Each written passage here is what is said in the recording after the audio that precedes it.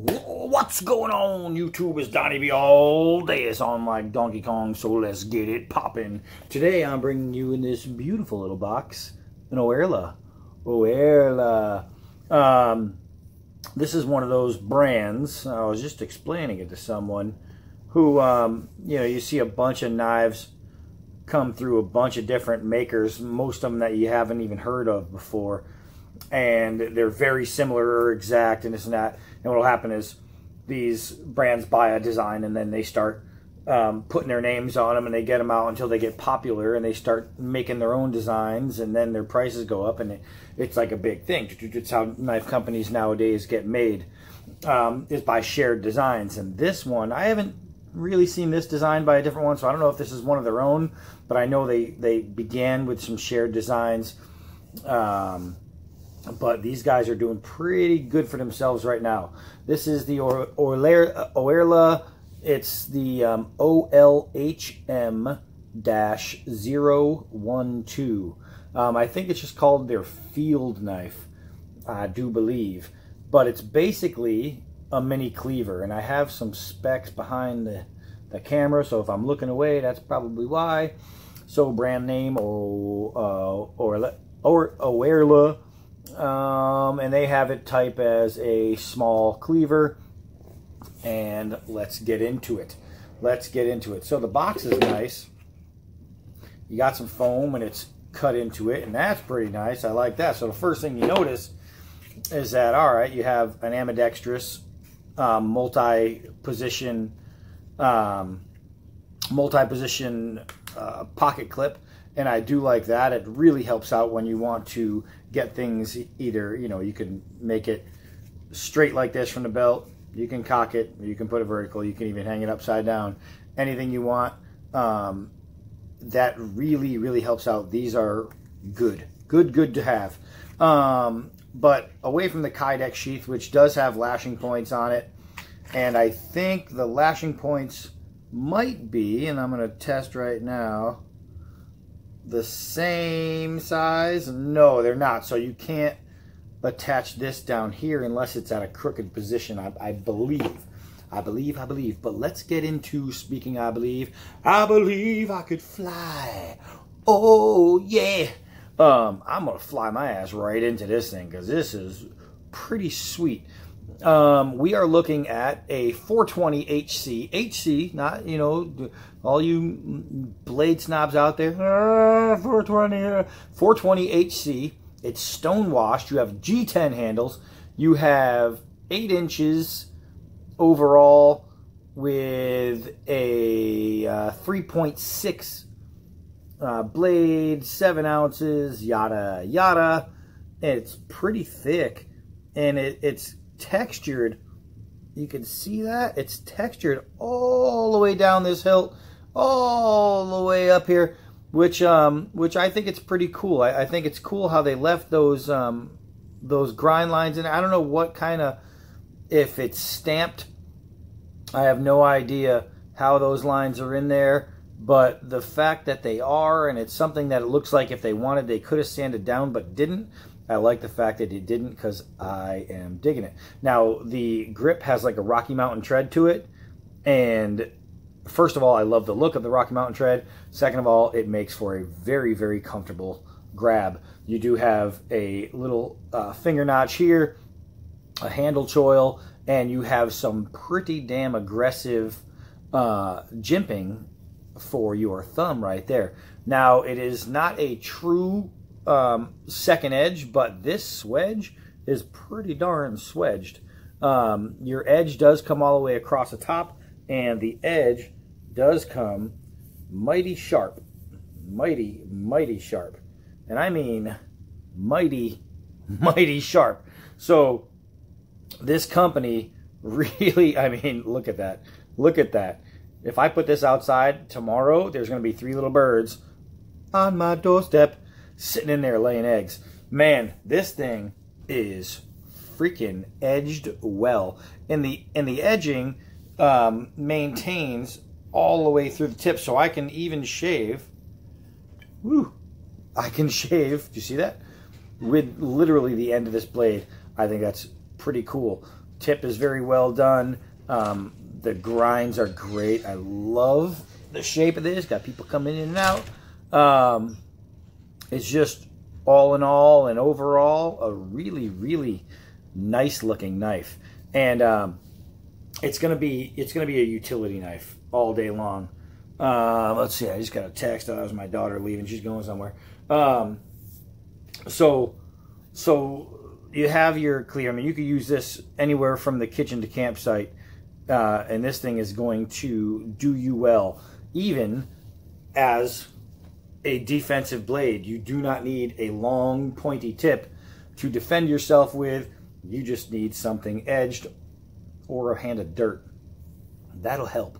Um, so what I want to do is I want to take this thing outside and I want to give it a go around and see how she holds up.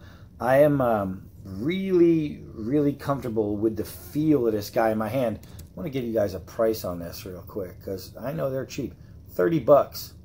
30 bucks free shipping is what you find it for on eBay.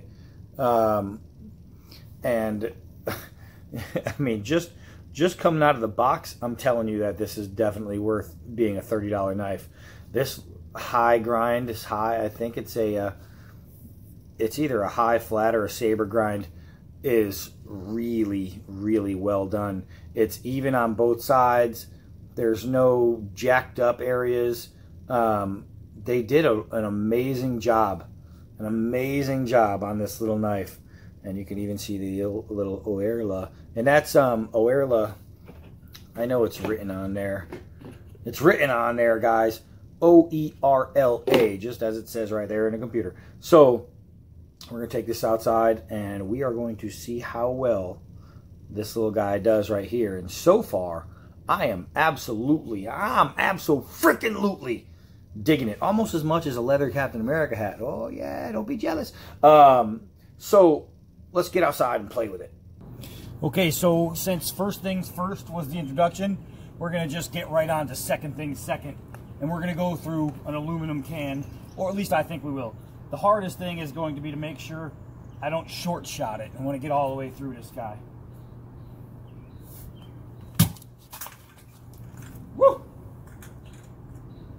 Found a way to wet myself, and this time it wasn't in my pants.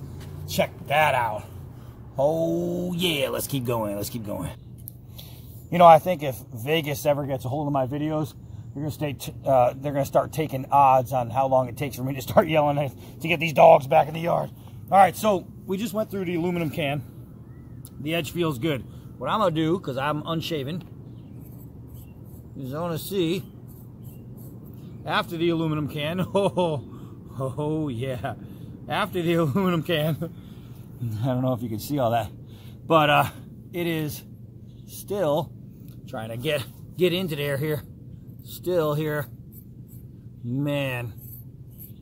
It's just so nicely taking off all the hairs off my uh, off my chinny chin chin hair. So after an aluminum can, it's still shave sharp. Now with a flat tip, with that pry bar style tip, I'm not sure if we can do a drop test, but we're gonna we're gonna try. We're gonna try four foot drop, see how the balance is. Hey, hey, look at that. Four foot drop and that flat tip is still sharp enough to penetrate and stick in. So I'm gonna do hard downward throws and we'll see how the scales hold up. And the good thing about the scales is even if they do loosen, they're just hex screws. So we can tighten them right back up. So that's pretty good. And there is a lanyard hole, forgot to say that, who cares. I'm gonna throw it backwards to get the tip down. Man, I'll do it forward too. Let's try that, see if that works. Bam, of course it does. And, holy crap, holy crap, I wanna show you. Oh, crap. So, that's how much of that flat blade was in there. Oh, I got a phone call coming in. Hold on. All right. When the VA hospital calls, I listen. All right, so let's do a little bit of a little bit of prying here. A little bit of prying with this with this old 420 HC. And I'm telling you, it's not just prying a little, it's prying a lot. That's that's pretty good. No tip bending or anything like that. Um, let's find a let's find an end to this rope here. We have this nylon rope. Let's give it a nice push. Oh my gosh. Watch this, guys. Watch this. That is butter smooth. I didn't even give it a full press. And normally what I'll do is I'll jam it in there. I didn't have to because this thing is so sharp. It just ate. I'm talking ate straight through that stuff. That um, that is pretty pretty good. Let's see. This edge, this edge is phenomenal. I mean phenomenal. So, how phenomenal? Look at this. Look at that feathering. That is just nice. Now, it's a short knife, so you think it's not going to make a good chopper. But, um, I don't know. This knife has some secrets because it's chopping. Let's get rid of some of these feathers that we just made. Look at this. Look at this. When you're talking of a blade under four inches, it's not supposed to chop like that. Oh my gosh, you see how much came off of there? Holy moly. So, um, so yeah, this guy right here is a wood shaver. You know, they, they list it as like a mini cleaver. And you'd think that this is going to be your camp kitchen knife. Holy crap, I could process. I could process Bigfoot with this thing. Man, let's see. I don't have a baton out here. I just don't have one. I have a little stick. Let's see. Let's see. There we go. We don't we don't need a baton. Who needs a baton? All right, so let's try that some more. a baton. What kind of what kind of animal am I? All right, let's see. Let's let's try some more. 420 HC. And this thing is a little tiny beast. All right, let's go. We got some hard vacuum cleaner hose down here. So let's uh, put that right there. And we'll just eat that away like it doesn't even matter. Like it doesn't even exist. We got some sports cone action right here. We'll just punch that down and we'll pull and it comes through like freaking paper. Oh my gosh, I am I am loving this. I am loving this. Let's see if we can't uh, see if we can't knock that, lock out a little piece of square part here. Let's see. I really use a baton for this, but I'm just gonna make do because I like to use the word do-do in a sentence. So let's do what we do. See if we can knock some of this off of there. Holy mackerel. Holy mackerel. All right, so I don't know if I'm gonna be able to square that up because I just don't have a baton with me. I do, but it's way over there where we're gonna be walking in a minute anyways, but I just can't do it. All right, so let's try and square this out as best we can, just like that, because I want to get a downward, a downward swing here.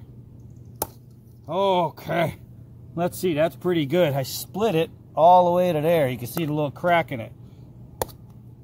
And that was, I didn't catch that all the way at the end. I caught it way up here instead of here. Look at that. Look at that. Look at that crack is right there. Oh, money in the bank. So now what I want to do is I'm going to flip it over and I'm going to use that false edge, that little swedge action right there. And let's see. You can hammer on the edge of this knife and cut with the swedge. So now after hammering on the edge, let's test it out. Literally hammering on the edge. Let's see here. How you like them apples? All right, so we have this we have this nice jimping back here. Let's see if we can uh, see if we can't notch with it. Let's see if we can't notch with it. I'd say uh, I'd say that's a successful notch. In my book, that's what I would call it. All right, speaking of notching, let's go with a true, a true, oh my God, the bite is ridiculous. The bite is ridiculous on that. Oh, where, where have you been all my life? I was not born yet, senor. That's why. Okay, so let's, oh my goodness. So, I have to say, this notch is better than, uh, most knives I've used. And I use some pretty expensive knives a lot of times. Look at that square notch. Oh, wait, you know, let's use, let's use this. Let's use this, see if we can't get through it. Let's see if we can't get through it. Oh, I punched the log. All right, but it looks like we got through. We got through on doing that. So, so this thing, I mean, if you need to make spear tips, if you need to make arrows, if you just need a pointy stick to defend yourself with, if you need marshmallow sticks, if you got to make um, pit spikes to trap animals, if you got to make a, uh, a spear for fishing, man, tent spikes, this thing right here is so good. So now what I want to do is I want to just use the, the tip, right? Oh my gosh. Look at this. Look at this. Look at that. That's just using that end. That is pretty a-okay.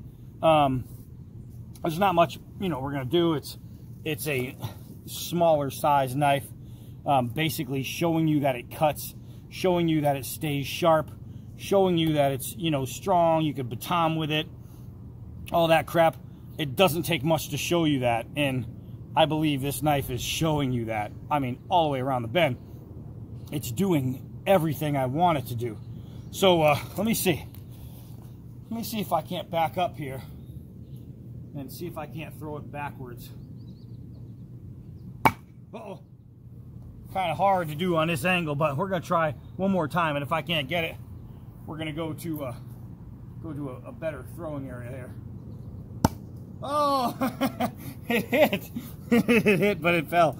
All right, so that tells me that we might be able to throw this thing. We just might.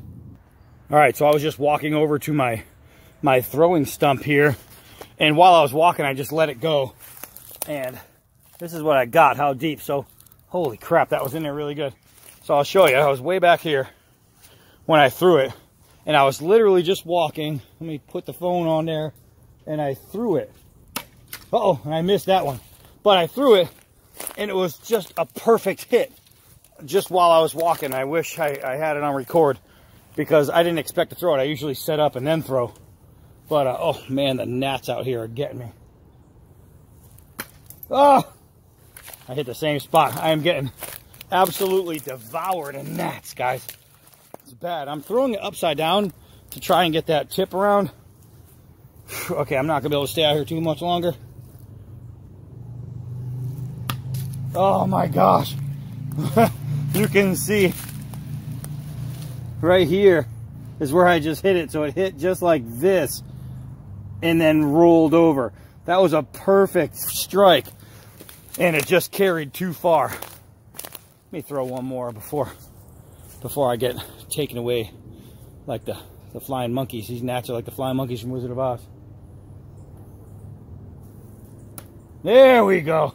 All right, so I knew it wouldn't take long, but it did the same thing as, as this hole right here. It hit and then rolled. Luckily, it was a good stick. So the ones I was hitting up here, I realized as I threw it because of the shape and throwing it reverse, it was rolling and I was hitting it almost sideways. So as soon as I straightened out my throw, I hit here and it rolled and then I hit here and it stuck. So can you throw a cleaver? I just freaking did. So, uh, so that answers that question that nobody was asking. Um, I'm telling you guys, this thing right here for 30 bucks is uh, $30 worth it. This is a fun little blade, man. Just sharp. And I wonder, let's see. Let's see if we have, ah, here we go. I see one. I see one. I see one. What about, I know you're all wondering, what about hide? Can it go through? So I got one of the soccer balls over here. Let's just put you guys at an angle there and find a nice spot to dig through. well, that was simple. And now we will just rip. Oh my gosh. Oh, oh, I'm not even in the camera. So all that right there just happened. Okay, let's try that again. See if I can get you. Ah, keep you in camera. I poked it through so far, I stabbed myself in the finger. All right. Man, these gnats are awful. It's fun being a greasy Italian during gnat season. Oh, let me tell you. Okay, so here we go. So that is just opening opening up this leather. So, can I use this out in the field? Hell yeah. I could use it on wood. I could use it on on animal. Uh, it's just cool, guys. It's just cool. You don't see too many knives like this that are, you know, considered to be uh, versatile. Can I cut up some hot dogs? Easy freaking money. Some steaks and all that without a problem. Can I use the jimping to uh, make myself a nice notch for maybe like a tent line or a bowstring? That is no problem. Um, it's just an all-around cool little knife. And uh, I say little, but it's a, a good enough size to defend yourself. You know what I mean? This thing is a gut puncher. It's a throat opener. So when you get attacked by Bigfoot, because we don't talk about hurting people, um, woo, gnats. Maybe that's why I need to attack. Uh, this thing, this thing will do the job. This and not being a, long point on the knife, uh, that could be uh, the difference in uh, legality reasons for certain states. If you have issues with carrying a knife, having something like this that has a flat end might really, really help you in those kind of areas. Let's see if we can get it in the sun. Um, oh, that's so pretty. Let me get my face out of there because that's not so pretty. But um, as far as, you know, police are concerned, having a cleaver style, which you can say, hey, man, this, this is my my go-to kitchen knife when I'm on the when I'm on the go. Uh, they can't deny it. It's a it's a pry bar. You know what I mean? It's, it's a pry bar with the pry end is sharpened, but that's it. And because this is a swedge, it's not a double edge. So for you guys who live in states where you can't have a double edge, um, this is still okay. Uh, for you guys who live in a state where you can't have some big clip point hanging out of your pocket, this is still okay. Um, for those of you who can't have a blade more than four inches, this is okay. So this is going to cover a lot of those bases um, for uh, legal purposes, but it's still going to be able to defend yourself just as easy as one of those that are illegal in your state. So, I mean, it's a, uh, this is a, a, a true, a, a, true multitasking knife right here. There, I can't think of much as far as knives this size that I'm not going to be able to do with this. I can't think of much that, um, with a clip point that I wouldn't be able to do with this. I could even do bow drill holes, you know what I mean, with this tip. Um, it's just, uh, it's just an all around good knife, man. You use this for, for hunting, fishing, camping, just around the house, uh, or just on your belt when you're out for a jog or a walk. You know what I mean? This little guy right here, you never know, could be your lifesaver. This could take open that seatbelt, you know? Any anything, anything. This is it's sharp enough and compact enough and shaped well enough to be able to handle just about any task you're gonna have. So um, that's pretty good. That's pretty damn good. Um, I had to yell to mask that toot. Um, yeah, I did. So, so that's it, man. Um, it's Oerla is how it's spelt.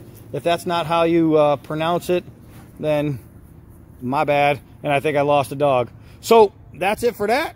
I'm Donnie B all day. Until next knife. Wow.